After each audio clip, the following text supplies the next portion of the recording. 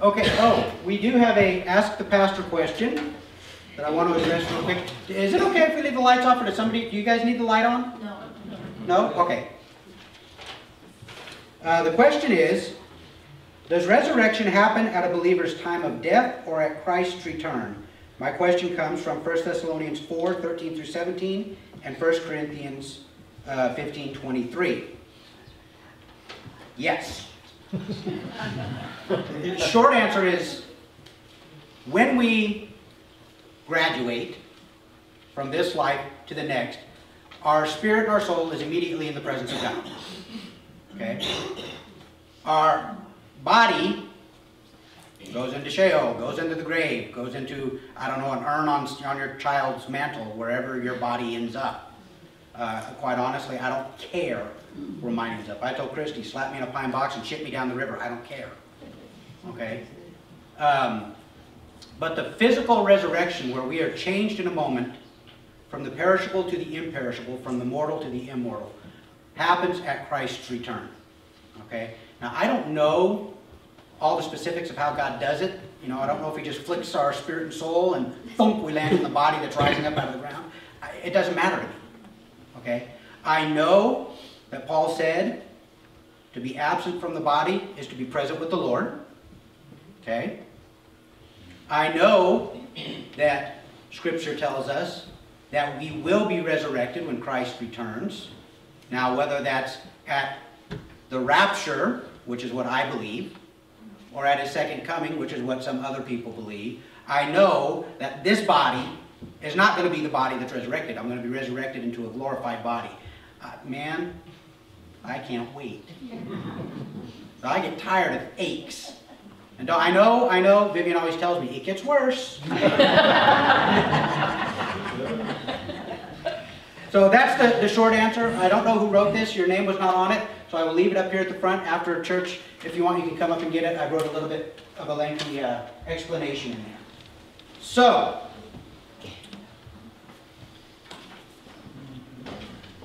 wow. I got all kinds of time.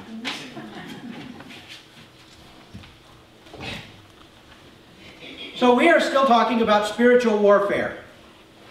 Um, going through the, the three maxims of war that we started with. Um, know your enemy. Know yourself. We've covered both of those.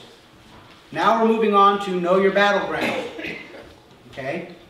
So we've talked about our enemy, the, the fallen angel, Satan, and his minions. Um, we've talked about ourself, which ironically also happens to be our enemy, because, you know, there's not a lot the devil needs to do to get us to fall. We invent ways of doing it. Okay? And, and honestly, sometimes I get a little tired of people saying, oh, the devil made me do it. No, devil can't make you do anything. All he can do is dangle it in front of your face. You choose to pick it up. Okay? So the devil can put a lot of pressure on you. But remember a couple of things. One, he can only put on you what God allows. He is restrained by God. So if something has come on you, it's because God is building you and growing you. Okay? If you fall, that's your choice. The devil can't make you fall. He can make things around you miserable. He can make falling look really fun. He can make it look like a pleasure. Okay? But ultimately, he cannot make you sin. Okay? So, we have the enemy, the devil. We have ourself, who also happens to be our enemy, our predisposition, our capacity to sin, the, the entire way we've trained ourselves before we came to Christ, those habits that we've developed over a lifetime, all of these things conspire against us. Paul even goes so far as to say, um, what a wretch I am. Who, who can save me? And he says, praise God, Jesus Christ. Okay? So today we're going to talk about the battleground. What would you guys consider the battleground that Christians face? Mind. What's that? The mind. The mind. That kind of falls under yourself. But that is a battleground. It's a huge battleground. Everywhere. Everywhere. How about the culture, the society that we live in? Okay? Um, this world, this world system that is opposed to and hostile to everything godly. Okay? This world system is opposed to us. It hates us. It has no use for Christ or Christians. Okay? So we're going to talk a little bit about the battleground. Number one, first point, James chapter 4, verse 4. I'm going to read it to you. You adulterous people. Ouch. Wow. Kind of a rough start. Do you not know that friendship with the world is enmity with God? Therefore, whoever wishes to be a friend of the world makes himself an enemy of God. Okay? I want you guys to turn there. James chapter 4, verse 4. I want you to highlight it, underline it, make a note by it, whatever you need to do. Because this is one of the critical issues facing the church. James chapter 4, verse 4.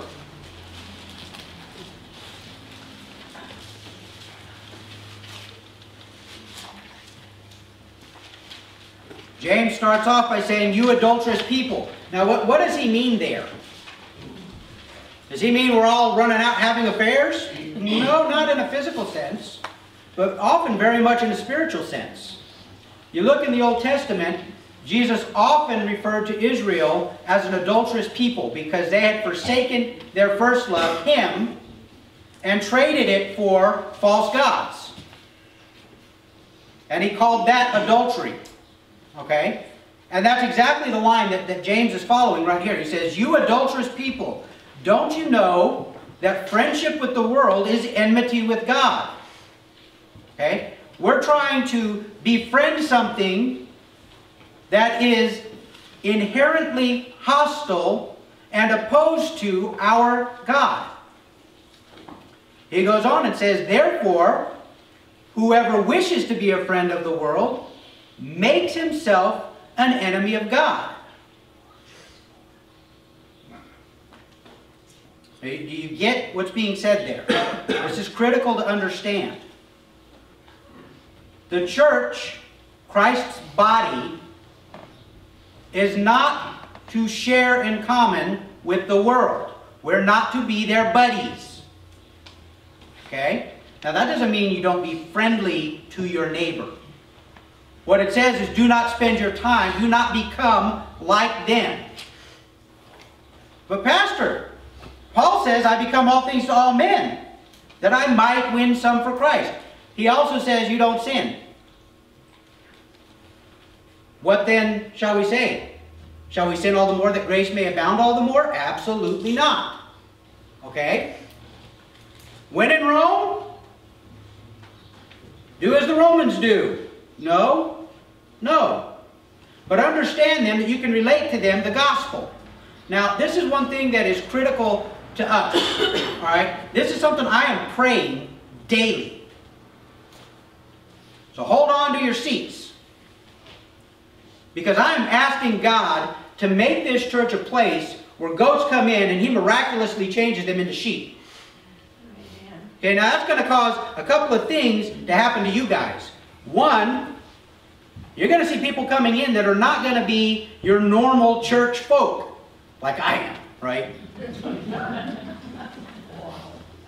Okay? You're going to see people come in that have needs, that are lost, that are hurting, that may have ideas that are completely opposite to what we believe, that do not know God and are not known by God. They may know about Him, and they may be feeling Him drawing them, that's why they come. Our job is not to sit in judgment on them. Okay? We always get this confused. We totally twist this thing around. We don't judge the world. God's done that. All right? we judge the church. We look inside the church because Christ is coming for a spotless bride. And you cannot tell me that you love someone if you will not confront them in their sin. Okay? You're a liar. That's right. I just called you a liar. If your belief is you love someone, but you don't want to cause friction, you don't want to cause problem by addressing their sin, you do not love them. Okay? You speak the truth in love. All right? Both of those things operate together. They have to operate together. I mean, you look at some of the things that Jesus said in his ministry on earth. He was speaking the truth in love. He loved them enough to tell them, You brood of vipers, you son of a snake.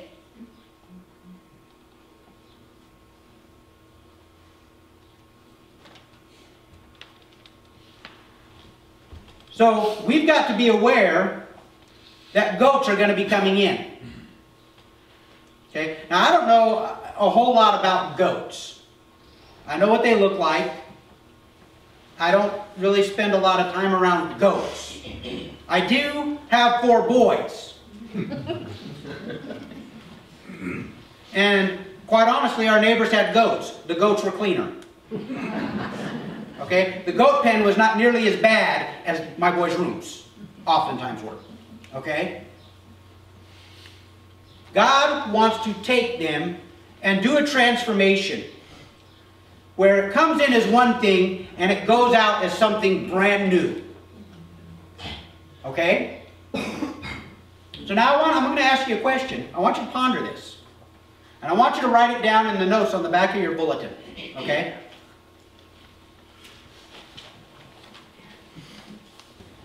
You ready?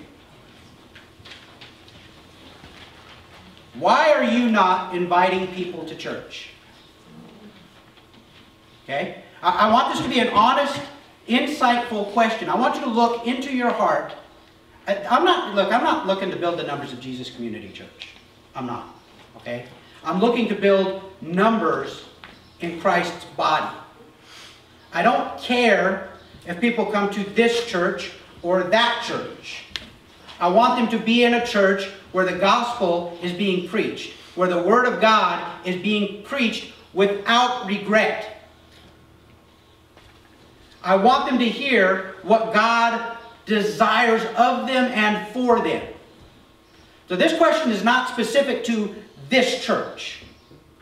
I'm asking, why do you not invite people to church? Okay? Because that's something we've got to address. We've got to address that. That's part of your testimony. Your part in the body of Christ is part of your testimony. God does incredibly miraculous things just all on his own. People being healed, relationships being restored, addictions being broken. But God also works through his body. You, you aware of that? I like Travis's quote. If it's just you and God, it's probably just you. I love that because I've been there. Been there, done that. Oh, I worship God better on my own. I get more out of reading the Bible than I do out of the preacher's sermons. And slowly as time goes by, I read less and less, I worship less and less, until basically Sunday was a day to sleep in and laze about the house it very quickly became no God. Okay? God has designed and orchestrated it to work this way. We need fellowship. We need people to have our backs, to help us, to correct us, to walk with us. Okay? That's what the body is for. It's not to float somebody's pride saying, oh, look at the size of my church. It's not to tickle a fancy. I go to this church because they got good music. Oh, I go to this church because the pastor only speaks 18.5 minutes. I go to this church because we're out before the Baptists. Okay? That's not what this is about. This is about coming together to celebrate, to worship, to honor God, to instruct, to teach, to receive, to bless, to give, to honor. Okay? Going to church should never be a labor. Okay? If going to church is an obligation to you, check your relationship with God. Find out what's off. Find out what's messed up. Okay? So, this battleground, the world is God's enemy. Number two, the world hates Jesus and his followers. Do you get that? If the world does not hate you, go back to my first point. Okay? John chapter 15, verses 18 and 19. Jesus says, If the world hates you, know that it hated me before it hated you. If you were of the world, the world would love you as its own. But because you are not of the world, but I chose you out of the world, therefore the world hates you. Okay? These are critical points that we have got to grasp. If we were of the world, they would love us. Does the world love you? Can the world tell there's something different about you? Are you a stench to them?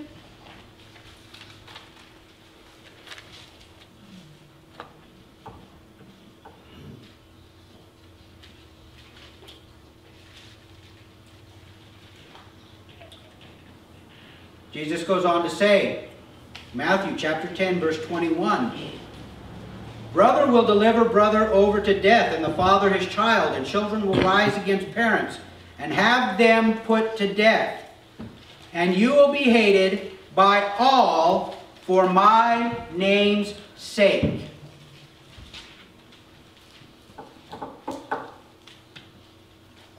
You get that? We are not going to be like. Okay, I'm going to read this again. Brother will deliver brother over to death, and the father his child. And children will rise against parents and have them put to death. And you will be hated by all for my name's sake. Then there's that wonderful word, but.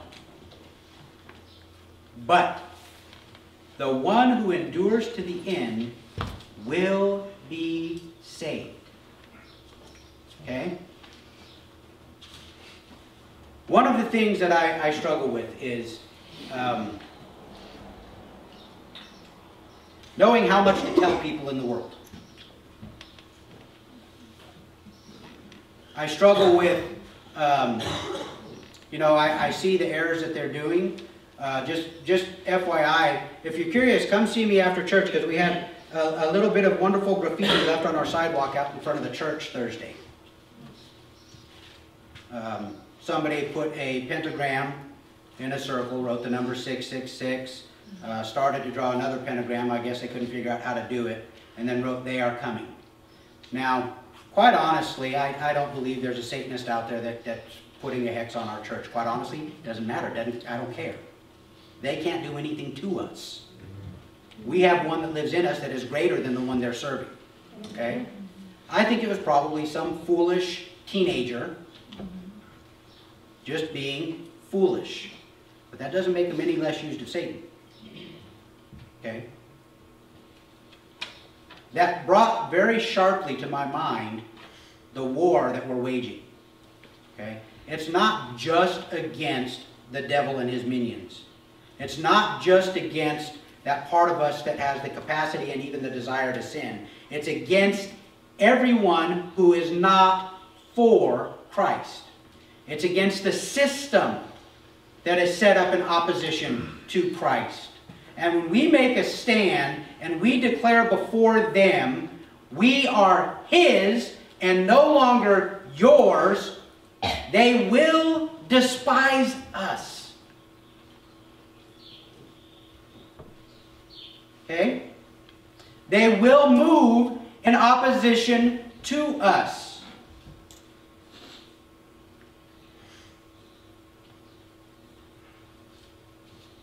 I'm not even talking about, you know, society in America. Uh, Society in America hates us, all right? They don't get us. At best, they tolerate. But look at the movements that have been happening in the political realm over the last 40, 50 years. Look at where our society has come.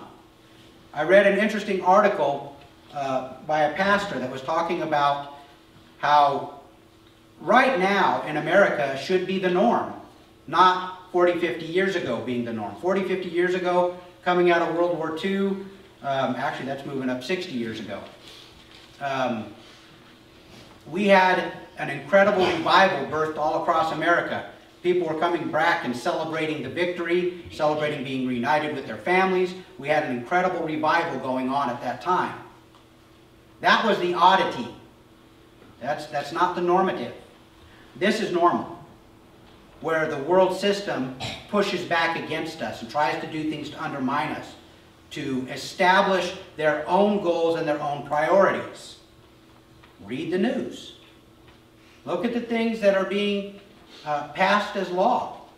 Look at what's before the Supreme Court that will determine what is right and what is wrong for this country. Okay? How much of God do you suppose they're getting into before they make their decisions? Okay? And we live in a society that is incredibly free and allowing us to worship. We live in a society that we have freedoms that a lot of countries have never had. Well, look at Europe. I mean, wow. That's where, where Christianity took its roots and, and exploded in growth. Churches are empty over there. They, they've, they've given up on that ideal. They've moved on to bigger and better things. And where they are, we are going. Okay? Look at Africa. Wow. Things are tough in Africa, especially for Christians. It's ugly.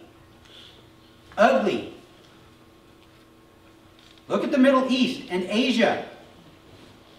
That's even worse than in Africa.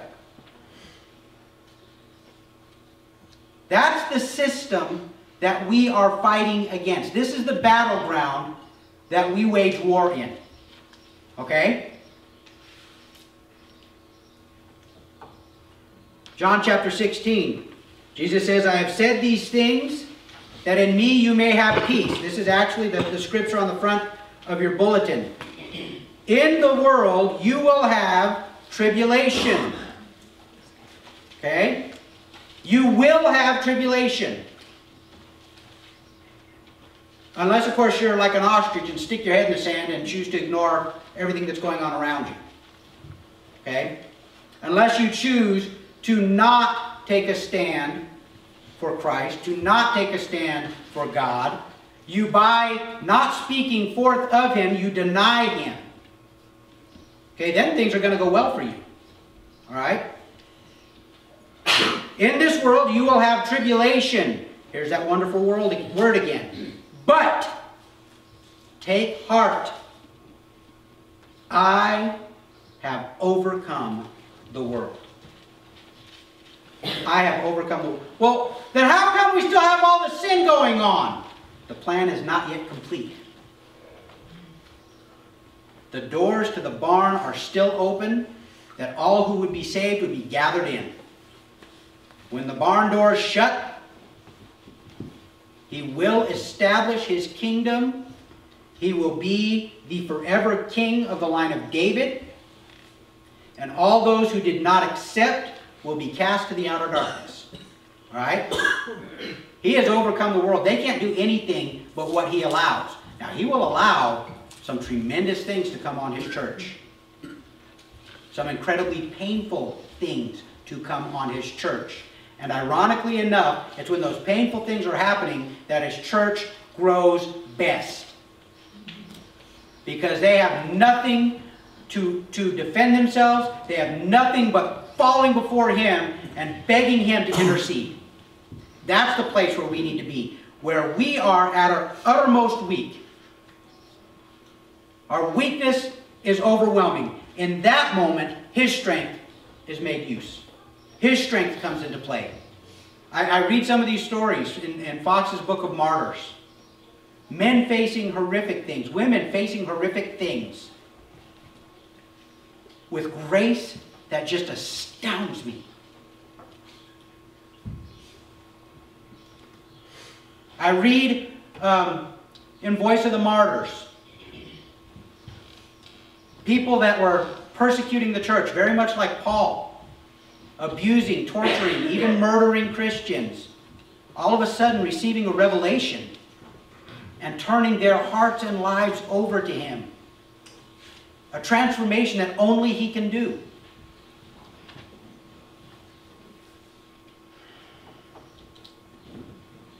First John chapter 2. Go ahead and turn there. First John chapter 2.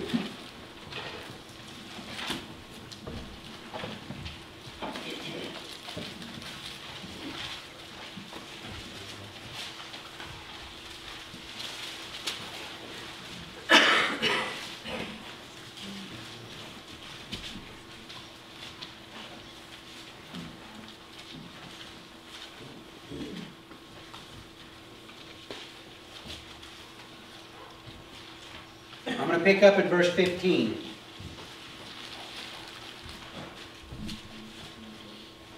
John writes, Do not love the world or the things in the world. If anyone loves the world, the love of the Father is not in him.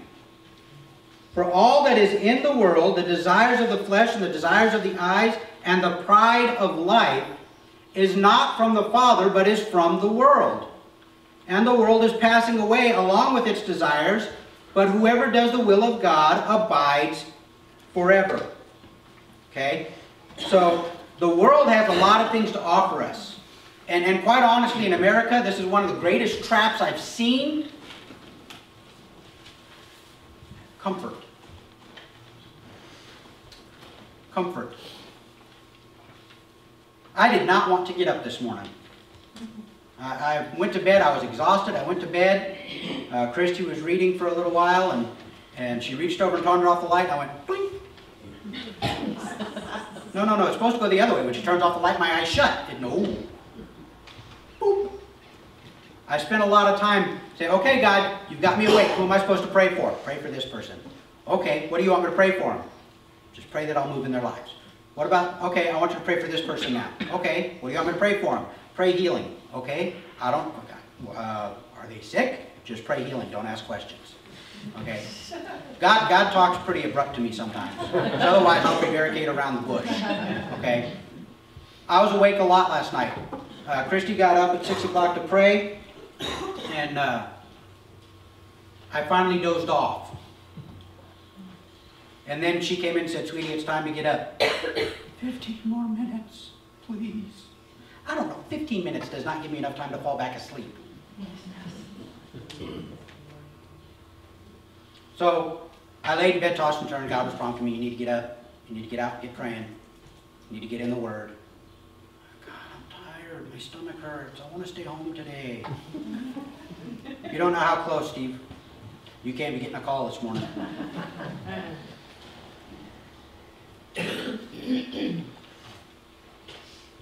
In America, it is so easy to love the things of the world. It's amazing the things that we love without knowing it. It's amazing the stuff that we love without knowing it. It's amazing the garbage that we love.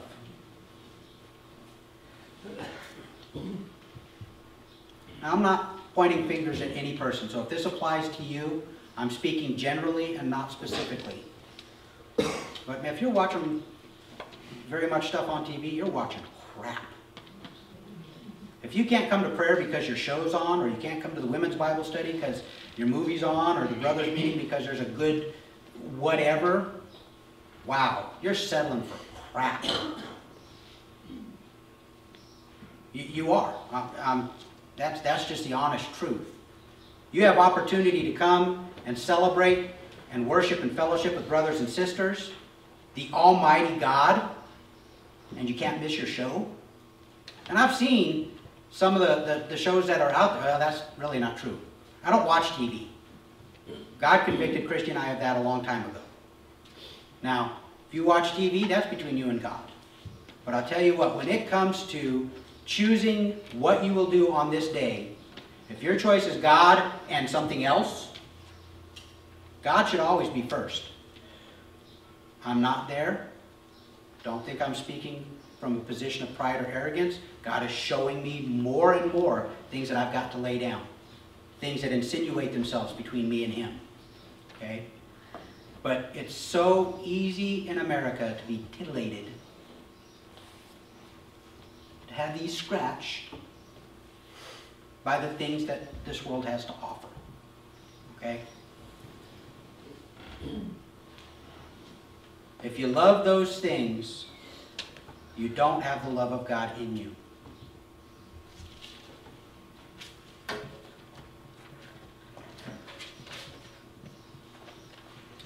Philippians chapter 3. Go ahead and flip over there real quick.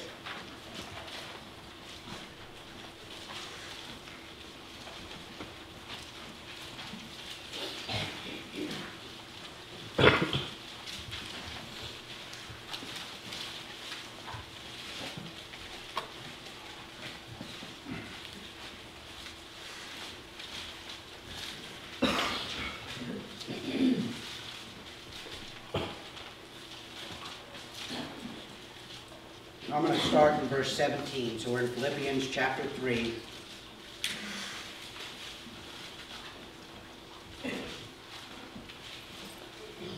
Actually, you know what? I'm going to back up. I'm going to pick up in verse 12. Paul is writing to the church at uh, Philippi. He says, Not that I have already obtained this or am already perfect, but I press on to make it my own because Christ Jesus has made me his own. Okay? This, this is where we're at right here, okay?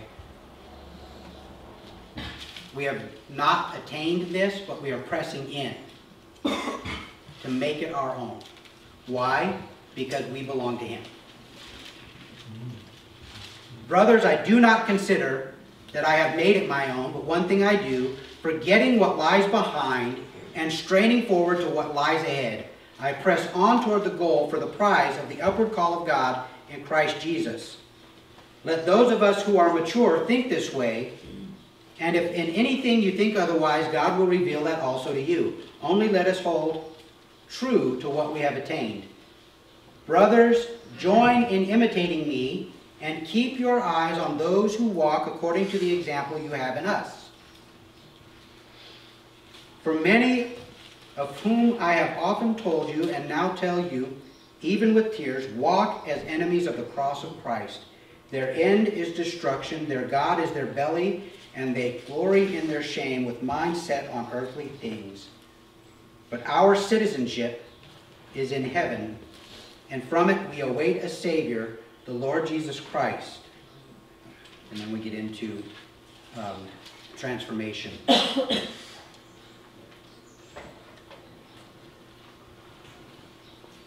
Nobody's there yet in this room. We are all pressing forward. We're all pushing in. Nobody has yet achieved what God has for us in totality.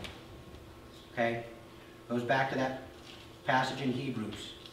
He is forever made perfect those he is sanctifying, those he is making holy. Okay? This world is in opposition to the cross. What does the cross represent? Ultimately, the cross represents freedom. See, you have two choices in life. You can choose to be a slave unto God, a bondservant of Jesus Christ, willing to have your ear pierced to show that you belong to Him. Okay? or you're a slave of sin. You're, you're a tool of the devil. That, that's the only two choices. Oh no, brother, I do it on my own. Yeah, great. You're serving him with all your heart. Okay? That's not one of the choices.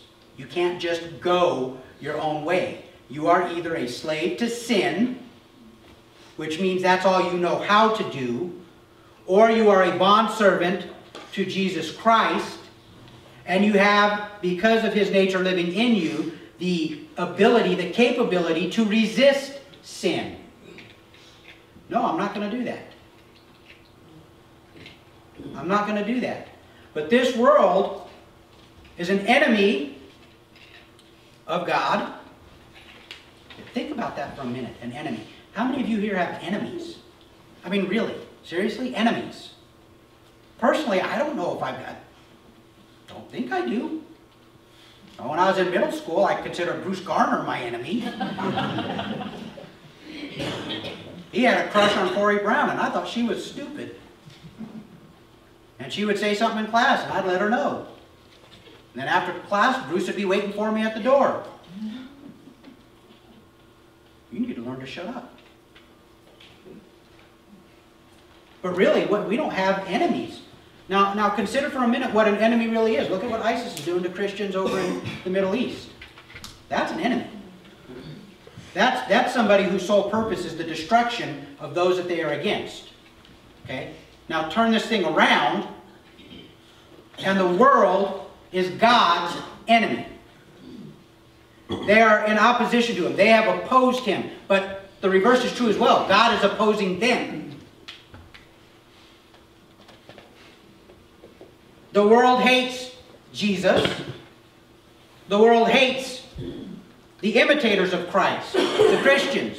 Those who have declared him to be their Lord, the world will hate.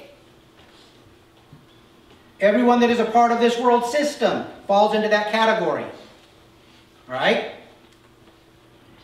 We are going to have trouble because of this. There's going to be people that come against us. You know, I, I look, and I told you a couple weeks ago or months ago, or you guys know how bad my memory is going back. I remember what happened, I just don't remember when. I told you that I was amazed at how far this country has come in six years. I, it, it floors me. But we're not at the point that a lot of, a lot of countries are, where there's just open persecution of the church. I mean, look, we're, we're gathered here right here. The doors are open. We're celebrating together. There's nobody breaking down the door, threatening to abuse us, to separate us, to, to torture or kill us. Uh, okay, we're not really suffering a heck of a lot yet. I don't think it'll be too long before we do.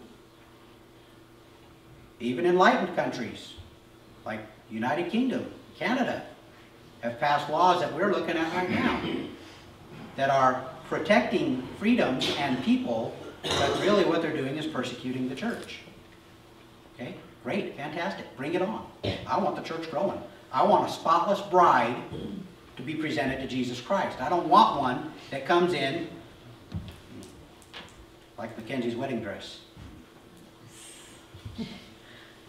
Well, if you were at the wedding, you know it was raining. you know that the ground was muddy. I know it cost me a hundred bucks to clean this stupid thing.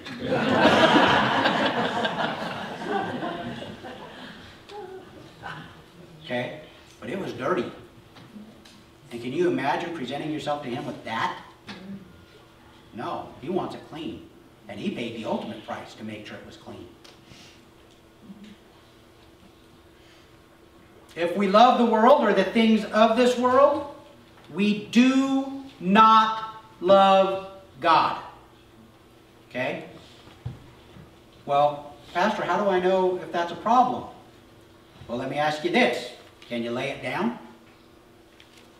Can you just say, okay, God, I won't do that anymore? Or do you struggle? God is telling you to put something down. Do you struggle with that? Oh, God, I don't, it's not hurting anybody. There's nothing, to, come on. Well, you know what? It may not be hurting anybody. It may not even be overt sin. But because you choose to embrace that instead of lay it down, that nature right there is sin. Okay? So what may be sin for me may not be sin for you in that, that regard. Okay? But what may be sin for you may not be sin for me because I don't have a problem with it. Alright? Enemies of the cross. See, we are set in a battleground that is completely and totally hostile to us. Oh my gosh. I didn't realize it was that late. Let me wrap up. See, this, this is the conclusion of my intro for spiritual warfare. okay? Um, really, I've got a lot more that I, that has, there's a lot of meat that I really want to get into. We're going to be getting into in the next couple of weeks because we looked at the enemy. Know your enemy. The enemy is the devil and all his minions, but the enemy is also you. The enemy is also this world. Okay? These three things are set up in opposition to us to prevent us from, from gaining the things that God has for us, from doing the things that God desires of us. All right? We're set in a battleground that at this point in time is controlled by the enemy. Okay? The prince of the air, the prince of this world. But ultimately,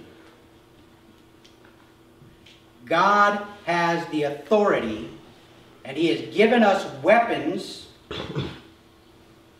that are mighty.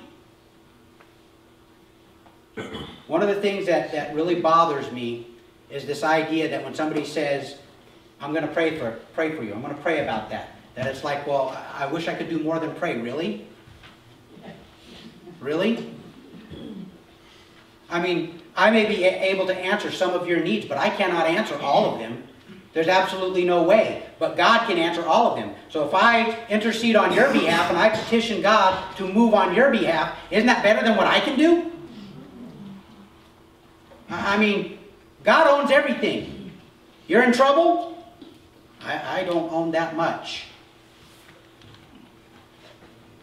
God knows everything. You're having issues? You can't figure it out? Man, I got a small brain. Okay? God knows everything. I don't have to know. I can bring it to Him and let Him deal with it. God has given us mighty weapons. All right? We're going to get into this next week. We're going to start looking at the weapons of our warfare. Okay? Because we're not thrown to the lions in this battle. As a matter of fact, we are not overthrown in this battle except by our choice. We choose. Okay?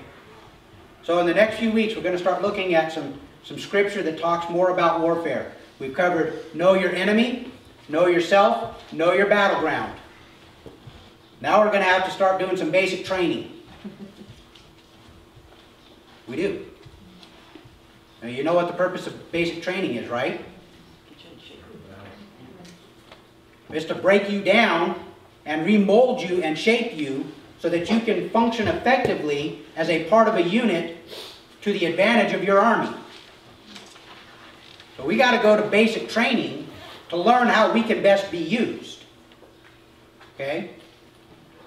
I had someone tell me one time, oh, I hate these songs, Mighty Warrior, and we're, we're not called. God's the one that's going to do it all. Yes, He is. But Scripture tells us over and over again that we are in a battle. We are in a struggle. It tells us to take up the full armor of God, not just the partial armor of God. The full armor of God contains things that are both offensive and defensive. All right? So we're going to go through, we're going to look at spiritual warfare. Father, we bless you today. I thank you, God, that it's because of you that we have victory. Father, even when things look grim, even when things look hopeless, we have victory.